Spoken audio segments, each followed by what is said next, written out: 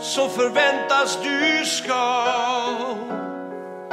Ha bra hannebarn, var händiga karn. Och älska svärföräldrarna. Att köra hem från festen. Var en mjukis inuti. Kunna läsa tankar, gester Och gärna också rösta på Fi. För vi är riktiga män,